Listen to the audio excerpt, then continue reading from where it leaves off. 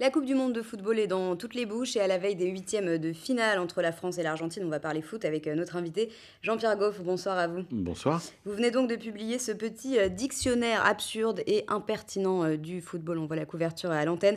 C'est donc un lexique du monde du ballon rond, écrit avec bien sûr, comme toujours, beaucoup d'humour. Alors, on ne vous savait pas passionné de, foot. Qu'est-ce qui vous a donné envie d'écrire ce livre? Bah, D'abord, c'est l'actualité de la Coupe du Monde quand même. De la même manière que j'avais écrit le dictionnaire de la politique il y a deux ans à l'époque de la, de la campagne présidentielle euh, c'est cette actualité, et puis c'est aussi donc euh, le fait de, vouloir donner c'est toujours pareil, cette vision décalée, cette vision humoristique, euh, un, peu, un peu caustique, disons-le, du foot, sport le plus populaire de la planète. par quelqu'un qui a beaucoup, beaucoup aimé ce sport, jeune, ado et jeune adulte. Et puis c'est vrai qu'il est quand même, c'est aussi un petit bouquin de, c'est un livre de peut-être peut-être d'amoureux déçus.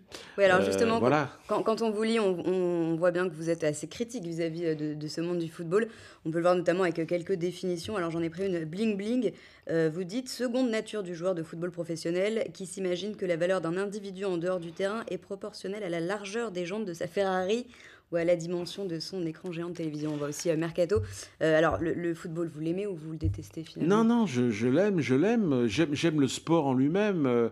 Euh, c'est une chorégraphie, c'est une dramaturgie, c'est euh, c'est des choses extraordinaires. Il y a, il y a, il y a, il y a peu de voilà, il y a peu de spectacles qui sur une heure et demie arrivent à concentrer euh, une voilà cette dramaturgie avec tout le monde. Si on prend la référence de la de la demi-finale France-Allemagne à Séville en 82, c'est difficile de faire plus tragique, on va dire. Voilà, c'est très shakespearien ou racinien. Et en même temps, euh, c'est devenu quelque chose euh, d'incroyable et même d'assez détestable sous, sous beaucoup d'aspects. À cause de l'argent À cause de l'argent, à cause, euh, à cause de ce que sont devenus, de ce qui est devenu l'environnement des joueurs.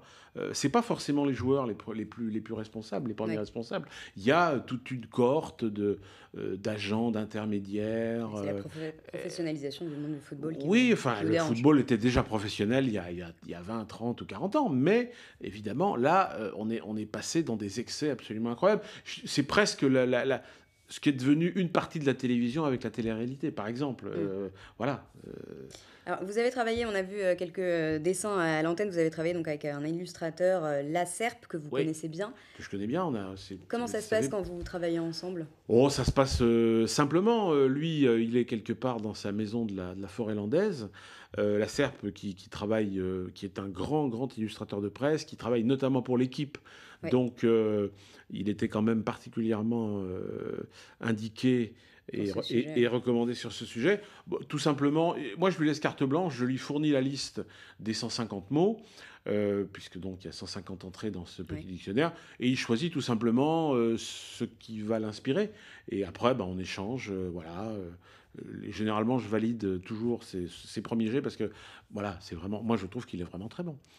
Euh, il s'adresse à qui ce, dictionnaire? Il s'adresse seulement à des connaisseurs ou Non, non, je crois qu'il s'adresse aux amoureux du foot, qui, ont, qui peuvent être euh, dotés d'un certain sens de l'humour, évidemment. Il faut, je crois qu'il faut rien prendre au premier degré dans ce que, dans ce que j'écris.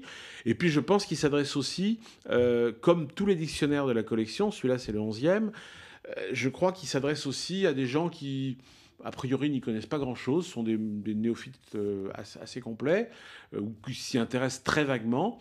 Et ça permet d'avoir toujours une, double lecture. Il y a la lecture du néophyte, que ça va faire sourire ou rire, et puis il y a la lecture de l'initié, euh, du vrai connaisseur, qui va se dire, bah oui, là, effectivement, il a mis le doigt sur quelque chose euh, de, particulièrement vrai que peut-être euh, le néophyte ne va pas percevoir, mais que l'initié, lui, percevra parfaitement. C'est moi ce qui m'intéresse dans cette écriture, c'est le double, c'est vraiment le double niveau de lecture. c'est ça. C'est le onzième euh, donc euh, dictionnaire que, que, vous sortez dans cette collection. De la collection, voilà. Qu'est-ce qui vous intéresse Je ne les ai pas tous écrits. Hein. Il y a aussi beaucoup d'autres auteurs. Ah oui, c'est vous qui, qui supervisez. Voilà, en, tout cas, la collection. Qu'est-ce qui vous intéresse justement dans, dans les dictionnaires? C'est quelque chose d'abordable pour le. C'est quelque chose d'abordable. C'est une manière ludique d'aborder un sujet. C'est-à-dire qu'il n'y a pas d'erreur factuelle dans le, dans, dans, le contenu des articles, mais après, chaque article est mené avec une, le, plus de fantaisie possible et de liberté de fantaisie possible. Moi, c'est ce que je dis aux auteurs qui, qui arrivent.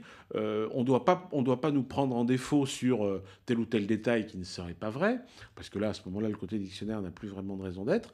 Mais en même temps, comme c'est un dictionnaire qui est fait pour sourire ou pour rire, euh, on, doit totalement et on peut totalement se lâcher dans l'écriture, euh, dans, la manière de, raconter l'article, par des exagérations, par enfin tous les procédés d'écriture qui permettent euh, d'arriver à ce résultat. Le premier dictionnaire de votre collection autour du vin va. C'était la vigne et le vin, on en est presque à 20 000 exemplaires. Il va faire l'objet d'une pièce de théâtre. Oui, tout à fait, d'un spectacle que je présenterai à la rentrée. C'était le dictionnaire absurde et impertinent de la vigne et du vin qui va devenir au théâtre les monologues du vin euh, que je vais déjà jouer un petit peu cet été, mais surtout à partir de la rentrée à Bordeaux, à partir du 6 septembre. Pour revenir au football, vous êtes euh, confiant pour le match de demain? Est-ce que vous avez un pronostic? Franchement, je ne lis pas dans les boules de cristal. Ça va être euh, compliqué entre deux équipes qui n'ont pas montré grand-chose depuis le début, il faut bien reconnaître, qui sont encore, à mon avis, très, très tendues, très crispées il y a tout sur le papier pour que ça fasse un beau match. Après, euh, je sais pas, moi je mettrais bien un petit, un petit, non mais non non, un, un petit tir au but à l'arrivée. Un match nul avec tir au but, et puis alors là, la loterie totale, bien évidemment. Merci euh, beaucoup Jean-Pierre Goff. On rappelle donc que votre livre, ce petit euh, dictionnaire absurde et impertinent du football, euh, sort en librairie la semaine prochaine. Et qu'il est publié chez Ferré. Et qu'il est publié aux éditions Ferré. Merci beaucoup d'être venu sur notre plateau nous le présenter. Vous restez avec nous tout de suite. On vous emmène découvrir les coulisses du Sunnyside, le festival international du documentaire de La Rochelle. À tout de suite.